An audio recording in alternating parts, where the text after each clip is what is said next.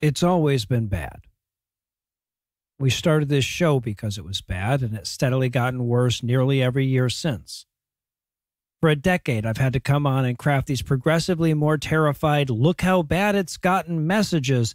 And, and we're to the point now where, I'm like, I'm worried I'm going to reach my rhetorical limit. The bad news is going to outpace my ability to articulate how bad it is. How can I distinguish this new low from all the absolutely abyssal depths that we've reached before? It's obviously a question I've been wrestling with a lot this week. So here's what I came up with. As bad as it's gotten, through the entire Trump administration, through Trinity Lutheran, through Espinoza, through all the incremental steps towards dismantling Roe, through all the foreshadowing about the court's ravenous desire to abolish the Lemon Test, through all the MAGA rallies, through the increasingly fascistic oratory, through the attempted coup by Christian terrorists on January 6th, I have never been afraid that it might be illegal for us to do this show in the near future. But given the extremism that we're seeing from the Supreme Pontificate of U.S. courts, that is no longer the case.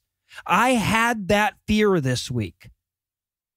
I mean, we're obviously going to talk about the overturning of Roe and the return of teacher led prayer to school more on the show. I, we're going to talk about it for pretty much this whole episode, and I'm sure many more to come. But let's take a second to acknowledge that the legal theories that they just upended to make room for their extreme views on abortion and Christian privilege are the exact same ones that protect us from blasphemy laws. Not, not that it really matters. I, I, think it's pretty clear that they've all but abandoned the pretext of coherent judicial philosophy. The law of the land now is whatever the Christo fascists want, using whatever fabricated bullshit of a justification we feel like. Now, now let me clarify my concerns here, right? Because it's not like I need my right to tell Jesus to eat a dick more than a pregnant person needs the right to bodily autonomy. I'm not ranking the rights here, but regardless of how it affects your employment, your proximity to blasphemy laws is a pretty damn handy metric of how deep into theocracy we've plunged. And make no mistake, that's what we're measuring now.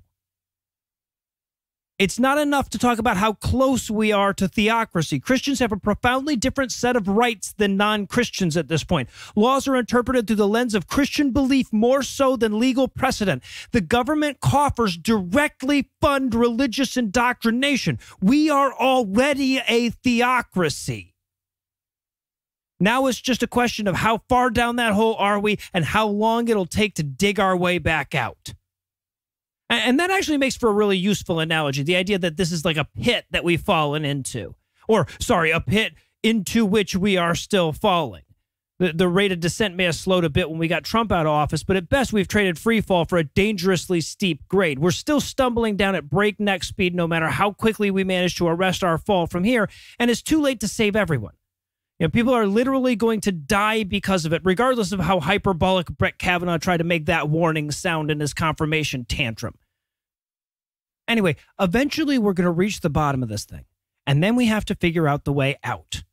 Now, obviously, the people who put us here, they're not going to be any help at all, but a lot of our allies probably won't be much help either. You know, on the one side, you'll have the naive optimists that think we're on a bungee cord and the institutional momentum is going to spring us back into balance any second now. And on the other side, you're going to have the jaded pessimists who tried flapping their arms a half dozen times on the way down and they've already given up. And honestly, when we finally roll to a stop at whatever unfathomable depth we wind up in and look back up those sheer walls, I feel like a lot more people are going to volunteer for that latter group. Still more will propose variations of the arm flapping technique. Others are going to try to scale the wall directly. And yes, a few of them might make it if they have extraordinary resources, but the rest of them will just tumble back to the valley floor with us. The sad fact, though, is that if we ever want to lift everybody back out of this hole, it's going to take a long time and we're going to have to move a lot of earth. We're going to have to dig a ramp along the sides of these walls with a gradual enough grade that we don't have to leave anyone behind or we will have failed. And that's a daunting fucking task, right? It can't be done quickly, and any promises that it can just serve to undermine the realistic effort. Look, we didn't get here all at once. You know, I know it seems like we did. It's it's easy to look back over recent history and think this is all stems from the 2016 election. And while that no doubt accelerated and exacerbated the problem, it's not like we had trouble finding headlines to talk about before the Trump administration.